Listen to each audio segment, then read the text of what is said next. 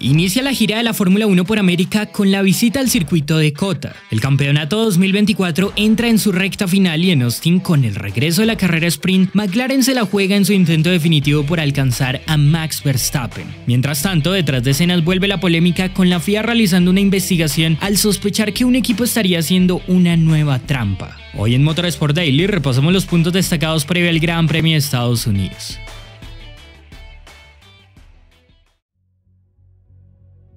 Según reportó Jonathan Noble, periodista Autosport, durante las últimas semanas se han llevado a cabo conversaciones entre varios equipos y la FIA ante la sospecha de que alguien estaría explotando las regulaciones del parque cerrado en la F1. Las normativas son muy claras sobre esto. Una vez entran en estado de parque fermé, no se puede modificar ninguna pieza o configuración mayor del auto. Desde que empieza la quali, lo único que se permite es ajustar el ángulo de los flaps del alerón delantero o en su caso reemplazar una pieza por motivos de fuerza mayor como lo es un accidente. Pero esta siempre debe de la misma especificación, de modo que entre clasificación y carrera la puesta a punto del coche debe permanecer prácticamente igual o de lo contrario la FIA considera cualquier cambio no permitido como una infracción a las reglas. Por lo que exponen en este caso, se sospecha que un equipo habría encontrado la manera de ajustar la altura de la quilla delantera cuando por normativa están en parque cerrado y no pueden modificar el setup. Según explican, la teoría apunta que a través de un dispositivo dentro del cockpit se lograría que puedan cambiar la altura del coche y que pase desapercibido. En esta era con efecto suelo, hemos repasado muchas veces la necesidad de rodar con el auto lo más bajo posible. El modificar la altura desde la zona del babero puede tener un impacto significativo en el rendimiento, teniendo en cuenta que por la carga de combustible el peso del coche aumenta para la competencia, físicamente la altura de todos los monoplazas siempre cambia entre la cual y la carrera. No obstante, el lío acá es que se sospecha que alguien estaría yendo más allá para compensar esa diferencia de altura y ya sea bajar o subir el coche según la conveniencia para la sesión en cuestión. En el reporte Autosport no se dice cuál puede ser la escudería. Según Eric Van Haren, periodista de Telegraph, los rumores apuntan a que el equipo acusado es Red Bull Racing. El equipo negó rotundamente que estén utilizando un truco como el que se menciona, pero un portavoz de la escudería le confirmó a la BBC que el dispositivo del que se habla sí existe, pero es inaccesible una vez que el coche está montado y listo para rodar. Con esto se ratifica que a pesar de que se abstenían a dar un nombre, la escudería acusada es la austriaca. Red Bull acordó con la FIA cambiar esta pieza, pero sostiene que nunca usaron este u otro dispositivo de una forma en que infringieran las normativas. La FIA tomará medidas estrictas desde el Gran Premio de Estados Unidos y realizarán procedimientos para verificar la composición del pavero del suelo, así como puede que se selle el diseño de esta zona para evitar que se use algún dispositivo que pueda alterar dicha configuración en el parque cerrado. La alerta de que un equipo podía estar haciendo esto surgió de los detalles de diseño que están en los servidores de la FIA en el código abierto que las 10 escuderías pueden ver. Alguien notó alguna particularidad y por eso empezó el debate. El tema es que por más que se diga, un portavoz de la federación, aunque expresó la preocupación, aclaró que no han recibido ninguna indicación definitiva que pruebe que alguna escudería, en este caso Red Bull, haya hecho uso del dispositivo. Pero ante las dudas, revisarán el caso con mayor profundidad.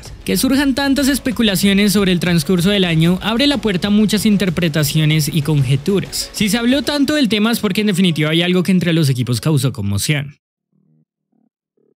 Continuando ahora sí con lo previo a este gran premio, el circuito de Cota alberga una de las fechas que mayor acogida tiene en el deporte al reunir al numeroso público de Norteamérica, pero también a gran parte de la comunidad latinoamericana. Desde lo técnico conocemos que este trazado de más de 5.5 kilómetros supone un reto gigantesco para equipos y pilotos debido a la cantidad de cambios de elevación. Históricamente las categorías que visitan este escenario han enfrentado problemas con los desniveles de la superficie y sus molestos baches. Hace un par de años repavimentaron el trazado, pero fuimos testigos de que ciertas dificultades persisten en el asfalto, por lo que aunque la intensidad de los saltos quizás bajó, deben tener mucho cuidado sobre el comportamiento de los autos en estas condiciones. Habrá una lucha para los ingenieros con el fin de hallar la altura ideal que no ponga en riesgo el fondo del monoplaza. Aunque cuenta con una recta posterior de un kilómetro de largo y una extensa zona principal, Cota es un escenario que también requiere altos niveles de carga aerodinámica en algunas secciones. El primer tramo mezcla curvas enlazadas del estilo Silverstone inspiradas en la mítica secuencia de Maggots, Beckett's y Chapelle, mientras que en el último sector hay algunas curvas lentas. La primera parte del circuito son curvas rápidas, la mitad es una larga recta y el sector final trae consigo tramos de baja velocidad. Es una pista que lo tiene todo. Prima la baja resistencia para adelantar y rendir en la parte posterior, pero también la estabilidad y agarre mecánico para lo sinuoso, por lo que la eficiencia aerodinámica que tanto repetimos en otros escenarios vuelve a ser crucial. Así que técnicamente es una fecha muy exigente al mezclar tanto sector rápido y zonas lentas. La degradación suele ser un aspecto a tener en cuenta en este circuito, así que ojo con eso. Y como no, es una pista donde los límites vuelven a ser muy discutidos. Cuidado sobre todo con la curva 9 y con la salida de la 19, que es donde el caos se puede desatar.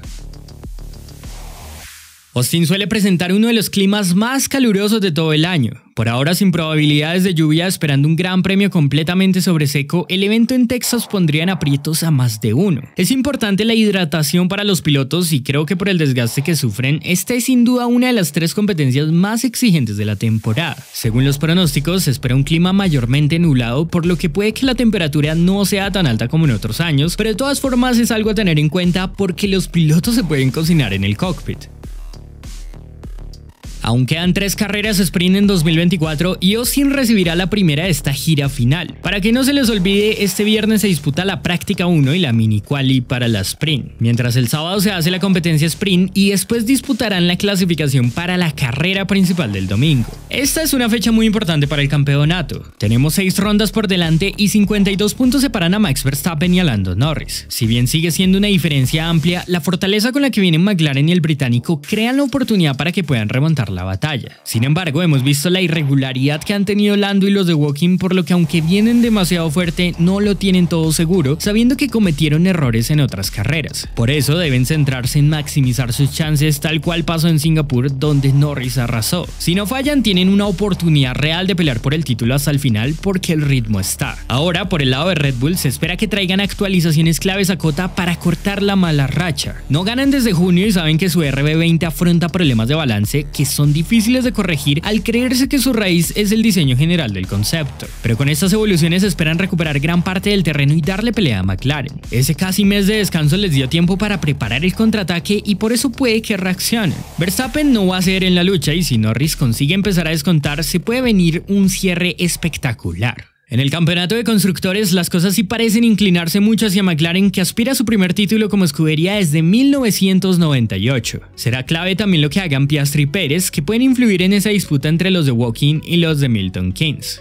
Ferrari apuesta por no traer cambios a su auto y según Giuliano Duquesa serían el único equipo top sin mayores evoluciones. Es un riesgo pero confían en explotar más el paquete que tienen ahora y confían en que Cota puede traerles buenas cosas. El año pasado ganó Verstappen en este lugar, pero Leclerc hizo la pole, por lo que es un trazado que le suele gustar. El gran obstáculo está en los baches de la superficie. Esta fecha es clave para todos en cuanto a mejoras y por eso Mercedes también traerá su último paquete del año. Según el turco Kemal Sengul, serían modificaciones al suelo y a la suspensión en las que se preparan para el W15. Los de Brackley perdieron la buena forma de mitad de año y necesitan respuestas no solo para mejorar su final de temporada, sino también para evitar cometer los mismos errores en 2025. Aston Martin es otro que traerá un gran paquete de evoluciones, aunque en su caso hay que regular las expectativas porque todo puede ser parte del proceso de revisión para los cambios que tendrá su monoplaza en la próxima campaña. RB tiene como gran novedad el regreso de Liam Lawson ante el despido de Daniel Ricciardo con el neozelandés que inicia su desafío en Cota y la expectativa crece por ver qué puede hacer.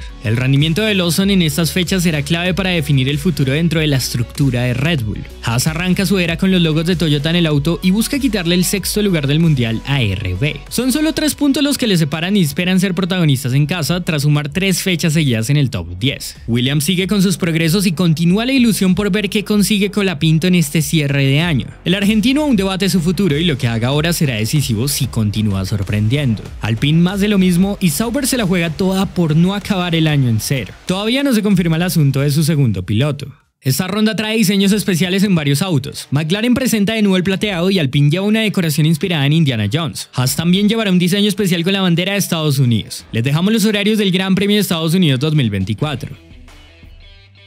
Si les gustó el video no olviden dejar su like, suscribirse si no lo están y activar las notificaciones para que no se pierdan nada de nuestro contenido. Un saludo a todos y muchas gracias.